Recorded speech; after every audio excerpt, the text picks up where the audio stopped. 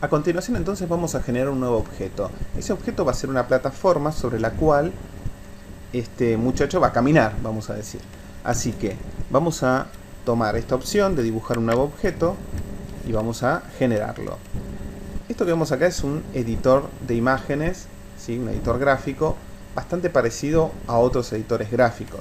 Tenemos el objeto pincel para generar líneas, rectángulos, etc. ¿sí?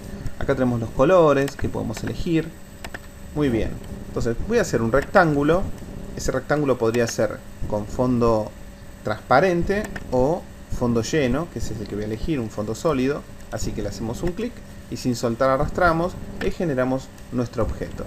Si estamos de acuerdo así como está, basta hacerle un clic acá a Sprite 1, que es este nuevo objeto que acabo de generar. Le hago un clic y ya lo veo en pantalla. Muy bien. Ahora, este objeto yo lo voy a necesitar en una determinada posición.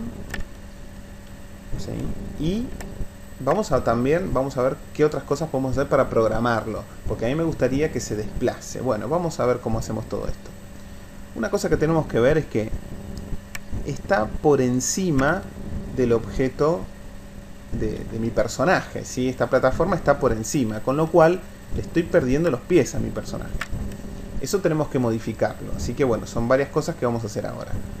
Primero y principal, se llama Sprite 1 porque Sprite se llaman los objetos de Scratch, ¿sí? Pero podemos cambiar ese nombre. Si hacemos clic en la información, editamos aquí y podemos llamarlo, por ejemplo, plataforma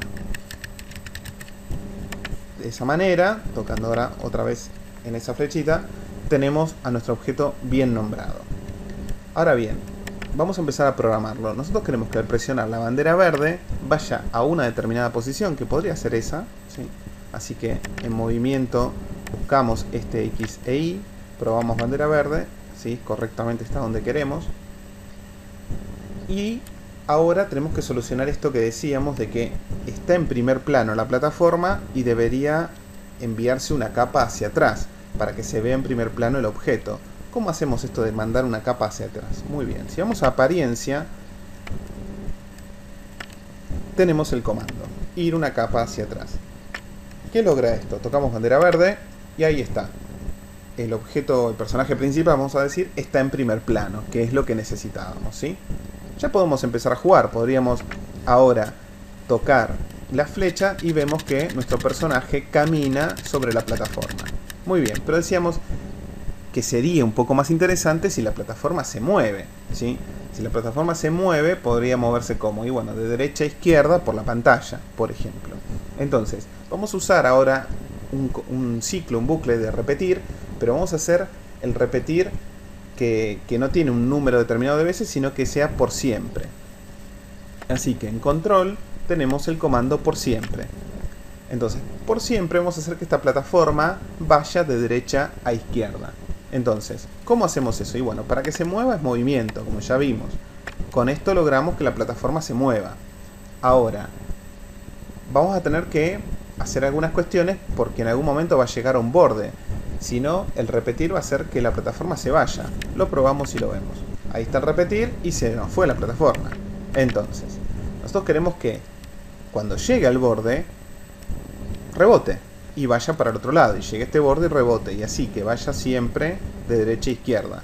Vamos a ver que aparece un comando que tenemos nosotros para hacer esto, que es rebotar si toca un borde. De esta forma, por siempre, se va a mover, pero si toca un borde, rebota. Ahora bien, todavía no cambié algo que cambié con el otro personaje, entonces esto no va a quedar perfecto. Vamos a verlo y vamos a encontrar el error. Tocamos. Se mueve, pero ¿qué pasó? Está saltando, ¿ven ese saltito que hace? Bueno, ¿por qué es eso? De nuevo, igual que antes, es que tiene el giro habilitado. Siempre por defecto tiene el giro habilitado. Vamos a quitarlo y poner derecha a izquierda. De esa manera, esto va a estar rebotando de derecha a izquierda.